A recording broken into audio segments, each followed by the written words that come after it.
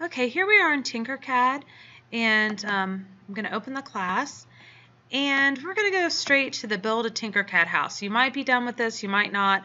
A lot of folks were confused, so now we're trying to go on. Um, so click on Build a Tinker house, and the first one says Create the walls of the house. So we're going to click on that. And there's no magic to this. I'm just going to read the instructions. Um, it says first you need to visualize the house. And down here is the instructions. It says, when you look at the image above, there's several characteristics. There should be a red rectangle, make the walls, the green triangle makes the roof, and there's an arch doorway. Um, through the arch doorway, you can see that the building is hollow. Continue to the next step. So we didn't have to do anything for that one. Then it says place a box on the work plane.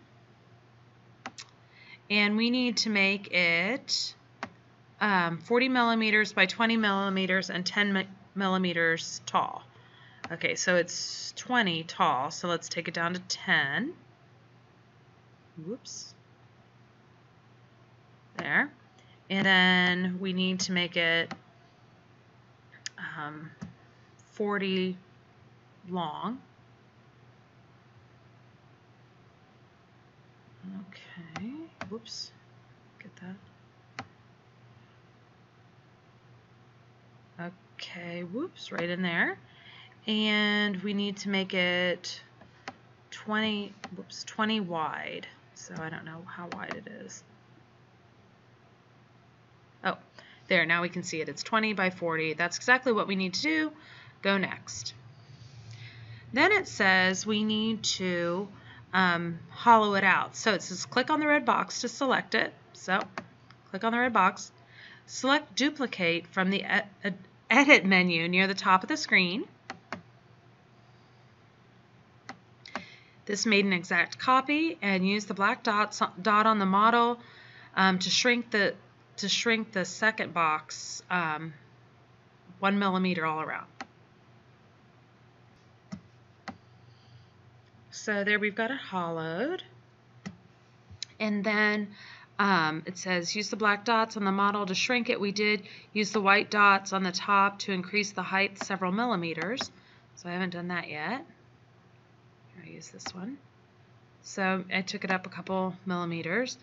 Um, and they're telling us to, that we're changing the height so that we can tell the difference between the two boxes. So it's very easy. So now select next.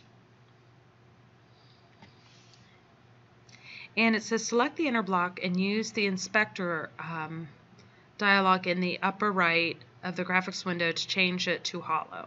So we've got that one selected and we're changing it. When it's complete, the inner block will be transparent like the image above, which hasn't yet loaded, but maybe yours will. Um, nope, not yet. Select both shapes and click the group button. So we select like this, go up to the group button right here, the result of the grouping is that the inner and the outer shapes, um, it'll become, it's pretty much just a hollow block, which you can see it's hollow. So that looks pretty good. And continue um, to the next, next one.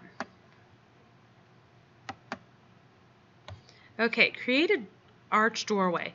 Now, I believe that you can do this on your own, so continue um, reading on your own and you can you can make it without a video. I, all I'm doing is reading the instructions.